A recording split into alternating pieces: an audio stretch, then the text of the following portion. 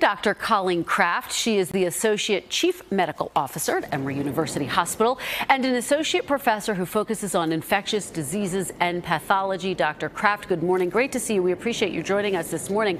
So let's take a look at the numbers. We have hit 50,000 cases multiple times this week alone, surpassing some of the highs that we saw even in April and May. We're seeing some states scale back their reopening. So, how crucial is it to stay vigilant this holiday weekend so that we don't see another surge in cases? Yeah, it is absolutely crucial to stay vigilant. We are no longer even talking about flattening the curve. We just don't want it to look like a ski slope. And so this is really um, becoming more and more dramatic. And it's really important for individuals to take personal responsibility to do what they can to protect themselves and others.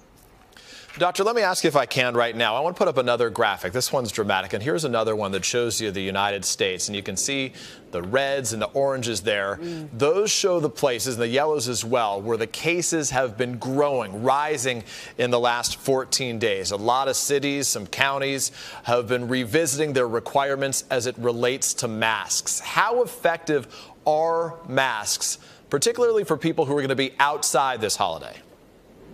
Masks are a critical piece and a simple piece of protecting yourselves and others against the, this virus transmission.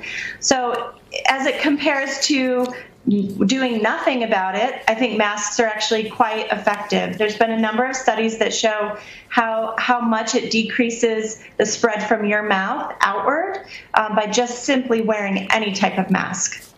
And Dr. Kraft, while cases are on the rise, we haven't necessarily seen the same spike in deaths.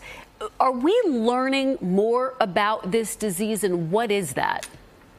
Right. So that's a mixture of not only having, um, you can, I, I, think what's happening there is that the medically fragile have really gotten the message that they need to stay home and isolate. So we're seeing a lot of spread among healthy young individuals. And so you can see that the hospitalizations and therefore the deaths are actually going down but that doesn't mean that the virus transmission is stopping, as you've already seen in the graph that you just showed. So it's really the, the lack of medically fragile people that are getting ill, which is good for healthcare systems. But in general, eventually this is going to um, crush the healthcare system at the current rate.